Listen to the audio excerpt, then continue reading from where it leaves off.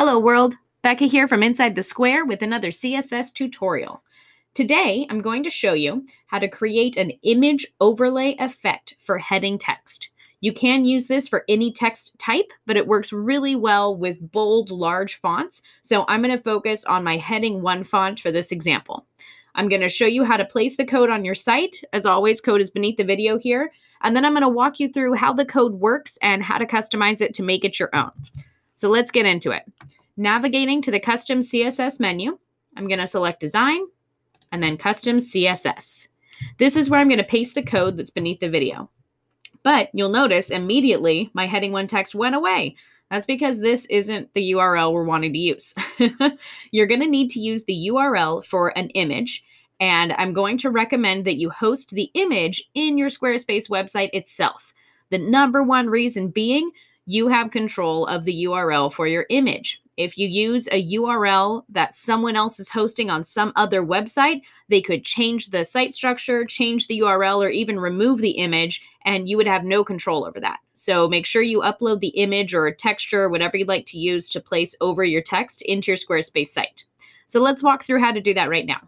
We're going to upload it as a custom file. You'll see here underneath the custom CSS section where I just pasted the code, we have manage custom files. I'm going to click on that and we have this little upload arrow for add images or fonts.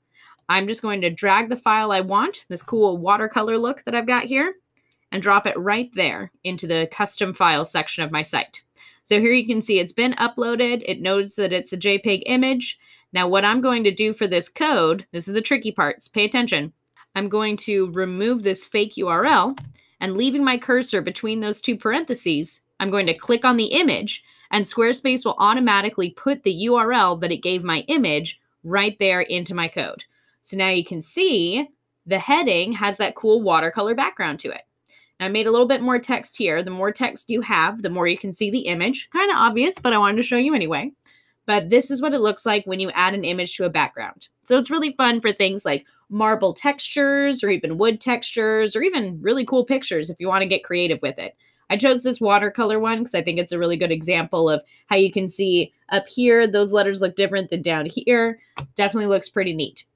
Now you can apply this to the other types of headings in your website by just changing this number right here. Right now this is set to H1 for heading 1, but if I change that to 2, you'll notice that now my heading 2 example has that watercolor background. If we change it to H3, heading 3 is going to get that watercolor treatment. And then, if you want to get really wild, change it to a P, and that'll actually change the paragraph text right here. Now, again, I think it works best when you're using larger, thicker fonts like a major heading, like this example here, but use your own discretion. In any case, uh, most important part, I almost always forget this one select save when you're done, okay? And that is how you create an image overlay effect for heading text. As always, code is beneath the video. Thanks for watching and have fun with your Squarespace website. If you liked this tutorial, you'll love my CSS cheat sheet. Download it now at insidethesquare.co/css.